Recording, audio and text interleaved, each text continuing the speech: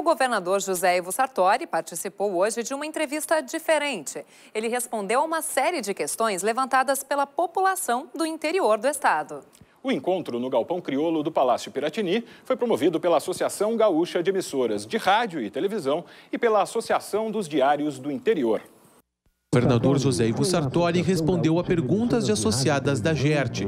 Na roda, assuntos para lá de espinhosos. Emissoras do interior demonstraram preocupação com a violência crescente e a falta de efetivo policial.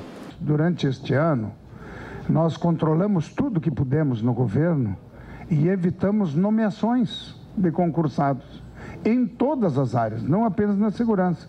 O único que a gente abriu uma exceção foi para a educação. Fizemos uma programação para atender aonde os 20 municípios mais mais violentos que tem. E procuramos medidas com inteligência, buscamos fora, inclusive junto com a Embaixada dos Estados Unidos, teve gente aqui dando curso de inteligência. Sartori também falou sobre a crise econômica do Estado e disse ter feito o necessário para o enfrentamento do problema. Hoje nós estamos pagando o preço de tudo que está aí, mas queremos construir, evidentemente, novas realidades. Eu devo dizer que com paciência e com tolerância, nós vamos ter sim.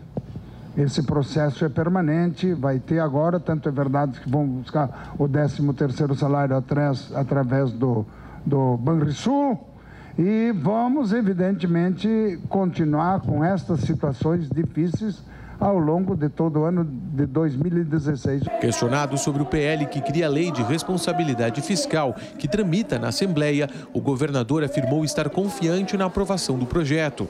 Uma das principais mudanças promovidas será a impossibilidade de governadores comprometerem despesas dos próximos governos com o aumento salarial.